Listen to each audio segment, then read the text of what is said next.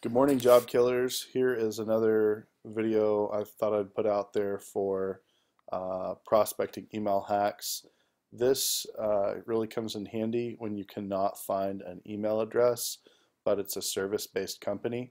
So this particular page, I looked all over, couldn't find it, and a lot of times on these DEX pages, uh, you'll find the email under the quote request page.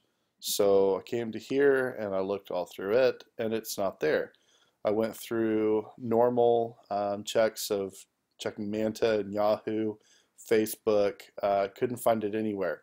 So um, I went with what information we do have and that is a, a phone number.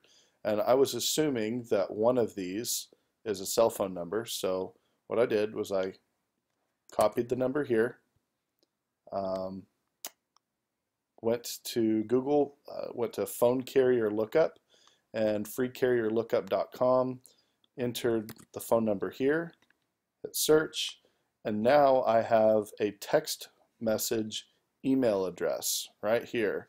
You choose your MMS because that gives you an option for long messages and not the short message.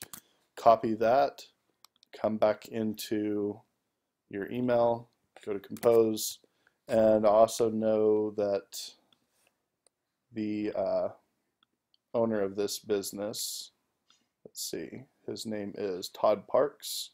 So I want to make sure I'm customizing this.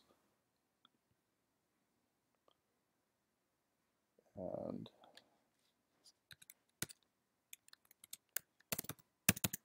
hey there, Todd.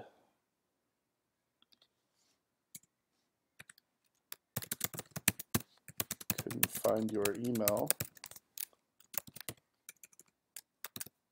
anywhere.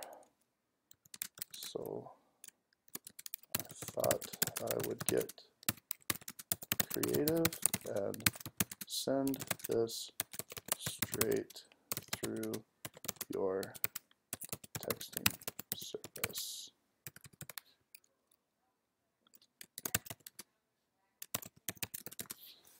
And there you go.